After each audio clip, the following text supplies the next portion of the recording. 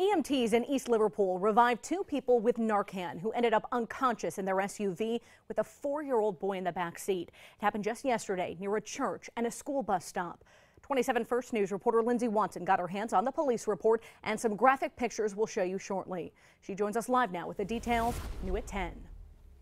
Well, we first heard about what happened on the City of East Liverpool Facebook page this evening.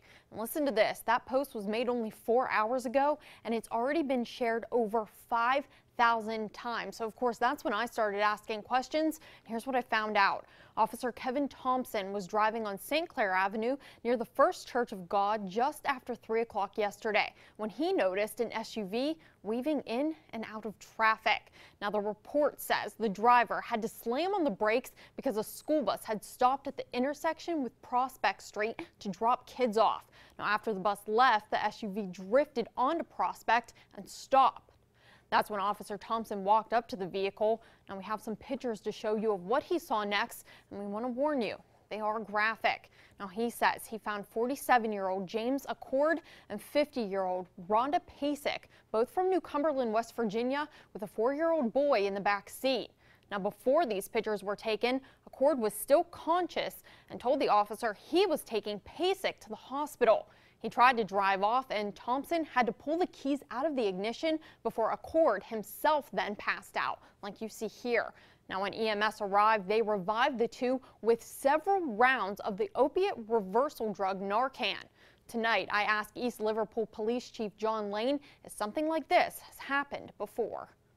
As far as driving, we don't see it that often, but we'll see, find people passed out and parked, you know, get them in parking lots and sometimes in parks and little out of the way places. They'll you know shoot up and then pass out. You know, I imagine that little kid that's in that car, he's probably seen that at home. Probably dozens of times where they're passed out with needles in their arms. Now, the police report also says a yellow folded up piece of paper was found on the right passenger seat with a pink powdery substance inside. It's been sent to the crime lab for analysis, but the police chief told me those results may not be available for a few weeks.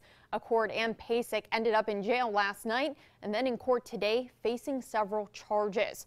According to the Morning Journal, Acord pleaded no contest to driving under the influence and endangering children.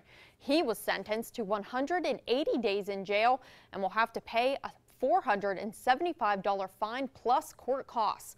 Pasek pleaded not guilty to endangering children, disorderly conduct, and a seatbelt violation. As for the four-year-old boy, police called ch Children's Services. Now, I'll continue to follow this story in the coming days, but for now, live in the studio, Lindsay Watson, 27 First News at 10.